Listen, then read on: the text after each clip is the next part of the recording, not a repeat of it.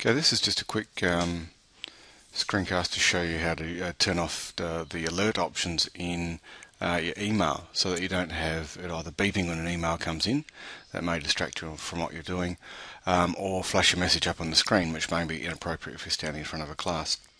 So if you come across to um, File, Files where you find a lot of the kind of management things to do with uh, Outlook and open that up and you'll find there's uh, a whole lot of gear here, but we want to look at options. Options is the one that lets us know, um, and it gives us the ability to be able to change things around.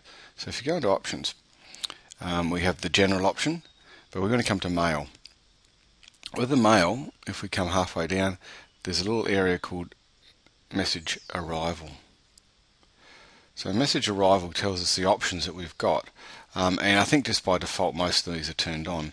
So it can either play a sound, which can be like a ding sound, um, change the, the mouse pointer, and put an envelope in the taskbar and display a desktop alert.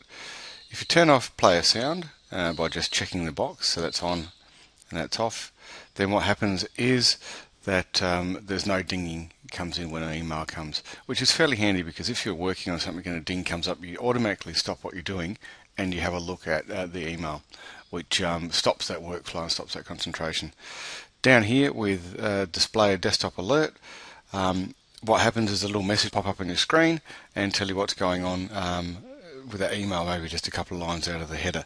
Um, and if something inappropriate comes up about a student or something like that that's going on at school while you're teaching a class, it's uh, probably not the best way to do it. So if you turn that off as well, then you haven't got those things. The downside is you've got to keep on checking to see whether there's an envelope in the taskbar down the bottom. Uh, an icon there and if there is then well you can actually go down and have a bit of a look you can change the way some of your desktop alerts go uh, in terms of um, how long it's there and those kind of things. But if you turn it off altogether, then um, you have, you've got rid of that problem.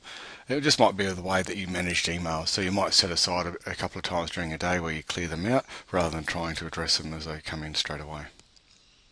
Once you've done all that, just go OK and it's all good. There's other options there as well which you might want to look at um, that will help you manage Outlook better.